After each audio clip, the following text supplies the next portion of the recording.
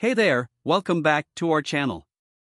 Today, we are embarking on an exciting deep sea adventure to discover one of the most enigmatic creatures lurking in the depths of the ocean, the Japanese spider crab.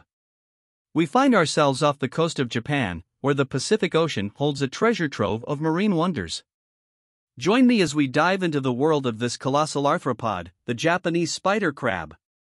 The Japanese spider crab calls the soft, muddy seabeds at depths ranging from 164 to 1,640 feet its home. It's a challenging environment for research, but we're determined to unveil its secrets. Prepare to be amazed. The Japanese spider crab boasts a leg span of around 12 feet and can weigh up to 42 pounds. It's the largest arthropod on Earth, imagine encountering this gentle giant in the deep. The spider like legs are an incredible sight to behold. Not only do they help the crab move gracefully, but they're also perfect for scavenging food on the ocean floor. And check out that reddish brown carapace, a brilliant camouflage. As omnivores, these crabs have a varied diet. They scavenge for decaying matter, feast on dead animals, and are even known to capture small fish and mollusks.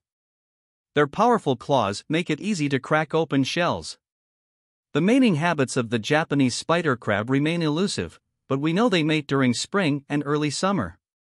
Females carry fertilized eggs under their abdomens until they hatch into tiny larvae.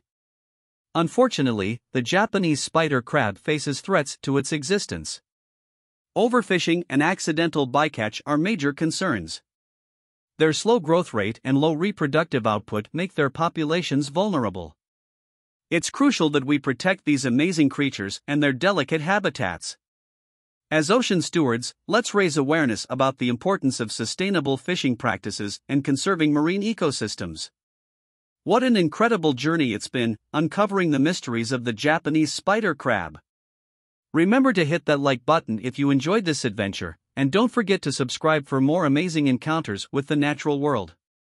Until next time, keep exploring and cherishing our planet's wonders. See you soon.